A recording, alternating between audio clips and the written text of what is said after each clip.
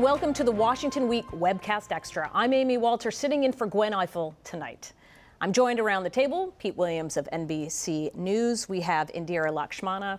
Got that right, right? Lakshmanan. Yeah. Lakshmanan. ah, oh.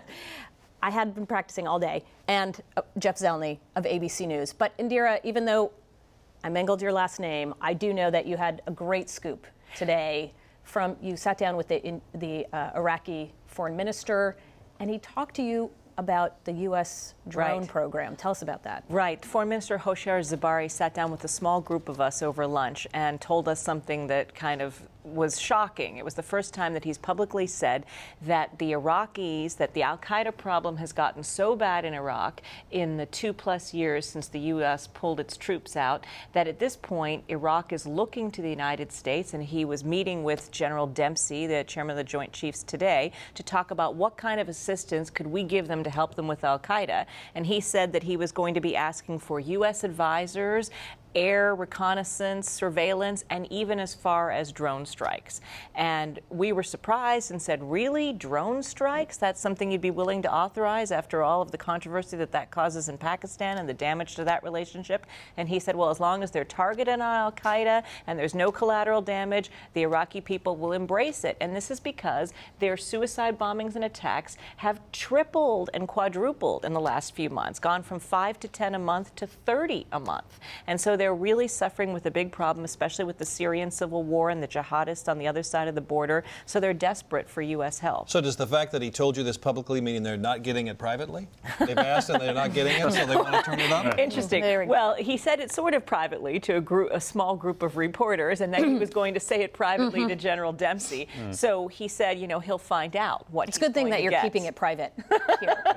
Well, around this table. So it, it was, it was on the record. It was on the record, but in a small group, and he was looking for reinforcements. But he basically said he felt that the doors in Washington were open for counterterrorism cooperation because he felt that after ignoring Iraq for a long time since the pullout, that the U.S. is finally waking up to the region being in flames was the term he used, and has really realized how significant the Al Qaeda threat is with the shutdown of all these embassies recently. So he said um, American officials are paying attention. He met with John Kerry yesterday, and he feels like there's a real chance for some serious counterterrorism cooperation.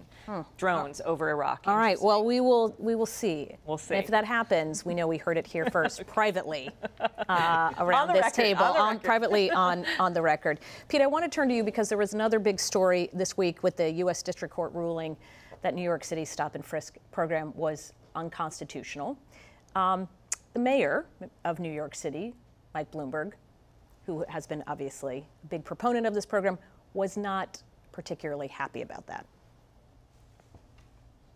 People have a right to walk down the street without being targeted by the police. But people also have a right to walk down the street without being killed or mugged.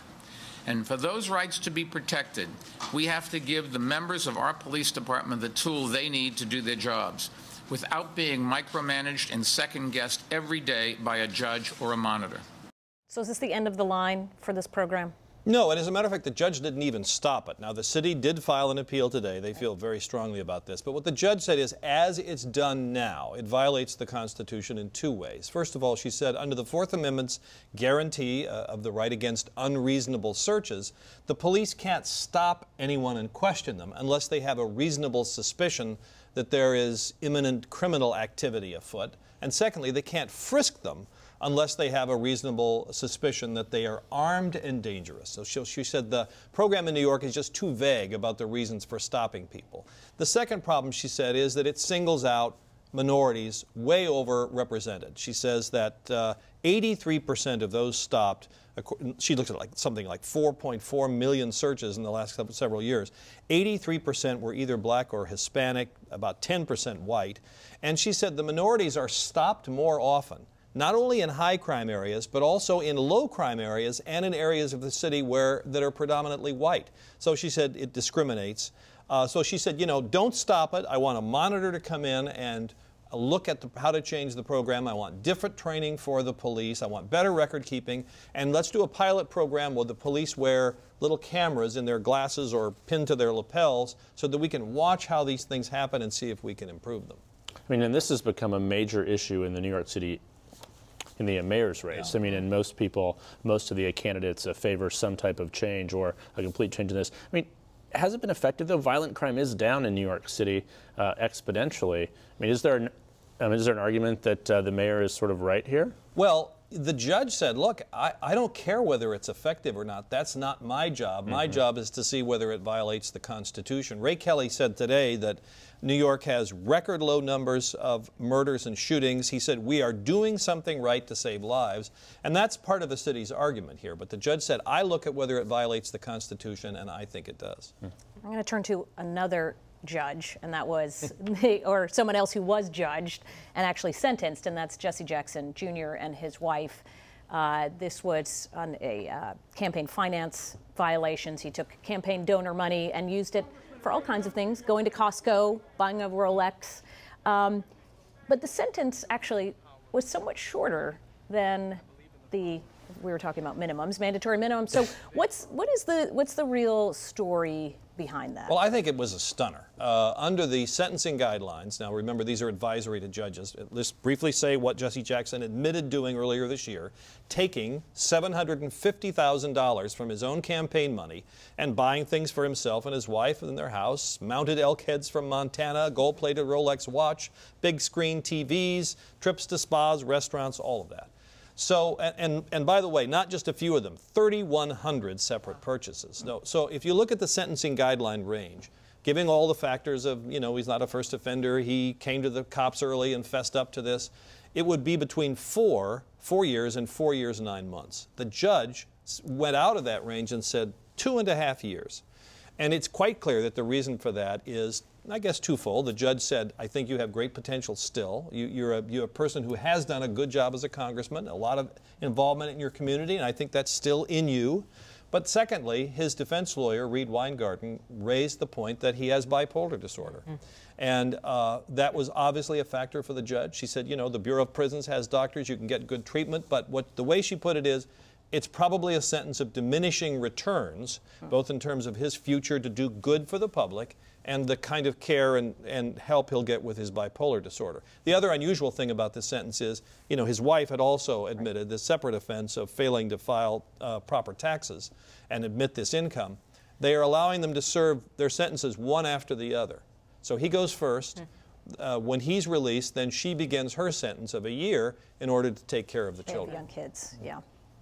Um, Jeff, we're going to end our note on an election actually happened this week. Tuesday, there was a special election primary. The mayor of Newark, uh, Cory Booker, won his primary. He's the far and away favorite to Right. win the general election this fall. Uh, we know that he's young, we know he's hip, he's social media savvy, he's ambitious. So, what is a Senator Cory Booker going to be like?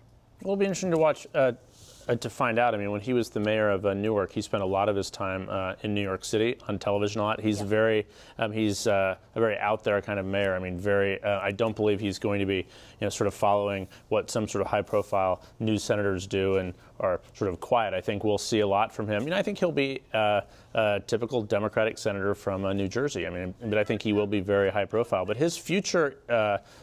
Uh, prospects are are very interesting. I mean, he is one of the many, many, many, many, many people in that second ring of potential candidates for president at some point. We'll have to see how he does in the Senate, but he's almost certain to win the uh, general election. Who was the last freshman senator to come into the Senate and be quiet?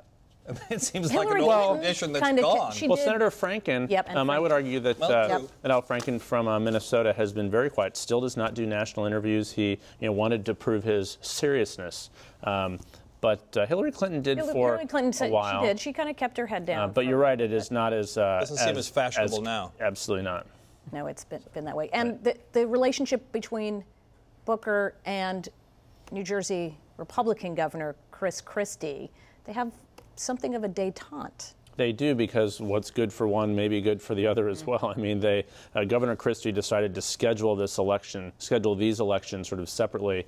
That helped uh, Cory Booker and certainly helped uh, Chris Christie when he's running for re-election in November. His election is on November 7th or whatever the the uh, Tuesday in uh, November is. But by then, all these specials will be done. Had they happened at one time, Governor Christie was worried that so many Democrats may come out, he may not win. So uh, they have you know some uh, mutually.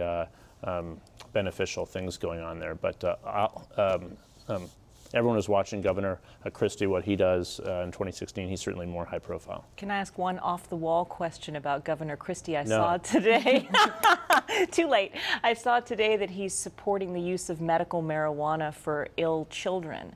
And I wonder how that is that does that happen in other states and how will that play with New Jersey Republicans and Democrats alike? I mean, I think, again, uh, just one example, he is running for reelection of New Jersey. It's a Democratically heavy state. I think that will play just fine. But, but it's based on a very, I don't know much about this, but it's based on a very specific a case. A father who had a young uh, uh, child with an illness essentially made a very public appeal to the governor.